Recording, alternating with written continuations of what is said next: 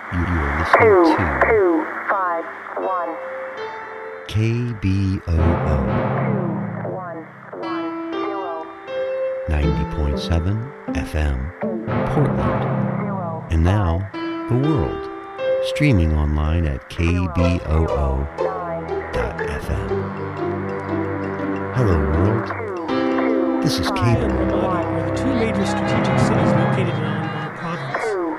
recent days, one, warplanes and artillery have bombed the city of Fallujah and its surrounding villages. section scheduled Reportedly for killing Oregon State 30 Bill 2564 for tomorrow, Tuesday, June 2nd. We're making some Democratic razzle controlled tags. Senate will discuss the so inclusionary is zoning bill, this is for which would allow the local government Yes. We're not here just to be like, eh. We're here for like, eh. This you know? is passion. It's See, it's, ooh. yeah, But that's what it it's is. like James Brown at the Apollo said, don't say uh, say uh. Uh! Exactly. Hey! Woo! That's what we're here for. Oh, that was Little Richard. Right In the there. spirit Shut of up. Little Richard, in Shut the up. spirit of Esquerita, Oh, yeah. in the spirit of so many people, in the spirit of Miriam Makeba, in the spirit of so many green like a green apple, green like a flavor. Every road I've seen is jammed solid with rusting hulks that offer little protection from the one, sun. one, zero, um, I'd have to know more about it. Did we give you a demonstration of threeism?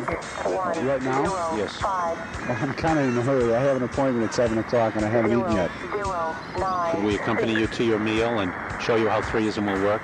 We will help you make the selection of your food. There is nothing we will do that will not be a unit decision. I'm Wait a Dr. minute now. That's two against one for the order in my place. The dinner's ready. We're on the dinner in my place. Yes, we could eat dinner at your home. zero, Can I ask you what are we having for dinner? I don't know yet.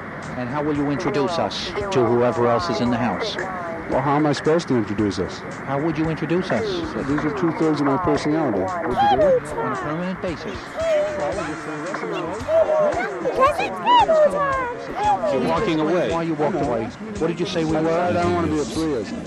Stay tuned after this newscast for an interview with Mike Crenshaw, who interviews Danetta Scott. Her son's murder by El Paso, Texas.